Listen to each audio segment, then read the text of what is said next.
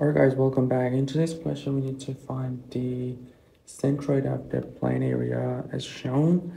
Uh, if we look at this, we'll see that we have a quarter circle and a small square inside. So at the end, what we have is, we need to find is to find uh, the shaded area, which will be basically the quarter circle minus uh, the square that we have. So uh, what we need to do in here is to find the centroid for this one, uh, the quarter circle, and we need to also find the uh, centroid for the square in here. And after that uh, we're good to go to find the center of gravity. And we know for uh, centroid if you want to find the x component. I will have these two formula for finding x and y and based on these all we need to do is to find the centroid of each component and uh, the area. So we usually go with the table. If we call this one 1 and this one 2 uh, at the end what we need to find two is we have the components.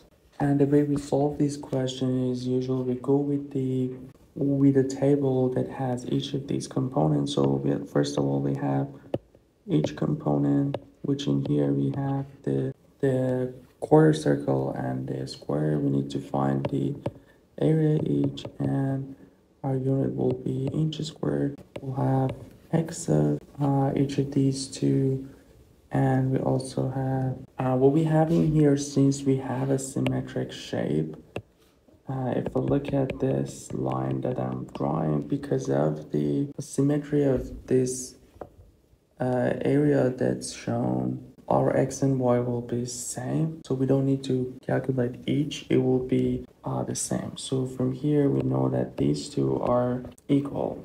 So from here, let's start with our first figure, which is the quarter circle uh, the area of circle would be p times r squared and since it's quarter we have divided by 4 we know the radius is 10 so we simply have a pi times 10 squared divided by 4 and this would give us 78.54 for the x we know that this will be our centroid and for finding this we simply have and for this, we simply have 4 times r divided by 3 pi.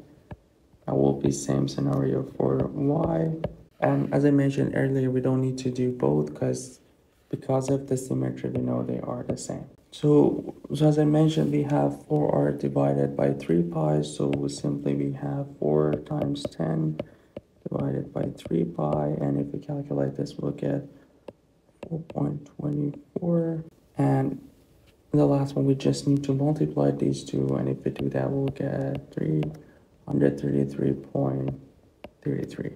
So that was the first figure. The second one, we'll have the square, and we have a negative sign in here because we have to subtract this the square from the quarter circle, and we simply have, for finding the area, we have 5 times 5, which is uh, minus 25, and the square is a symmetrical shape, so we'll be at the center, which would be uh, simply phi divided by 2, or the side which we know 5 inches divided by 2, so we'll have 2.5, and we get minus 62.5 if we do that.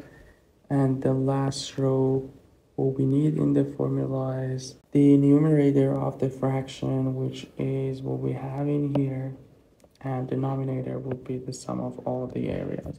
And if you calculate those, we'll get 53.54 for the area and we'll have 270.83 for the last column. And as I mentioned, we know